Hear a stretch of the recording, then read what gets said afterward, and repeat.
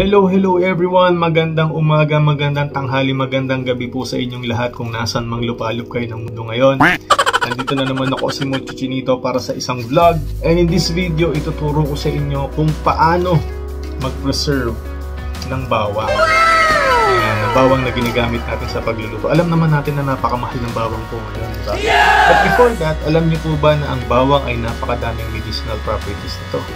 Isa lang doon is yung uh, nakakapagpababa siya ng blood pressure. Plus, pwede rin siyang gamitin or uh, panggamot sa mga may sipon.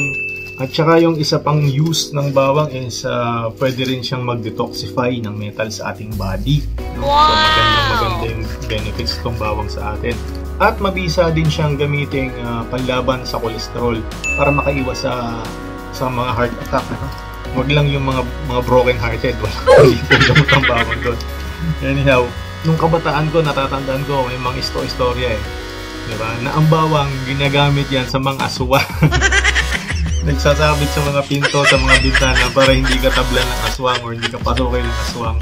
Diba? But kidding aside, yun. So, ituturo ko na sa inyo kung paano mag-preserve ng bawang in just a few easy steps. So, kung interesado ka, watch this video.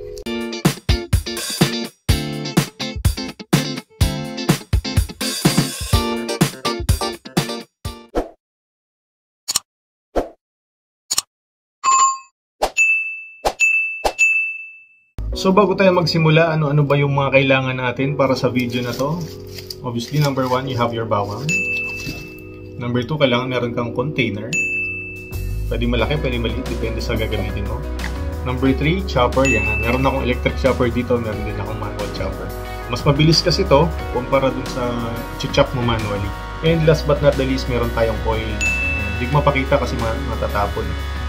Pwede rin pala kayong gumamit dito ng olive oil kasi yung olive oil hindi siya madaling uh, mamuo lalo na pa kasi ilalagay mo sa ref para ma-preserve mo pa siya lalo diba?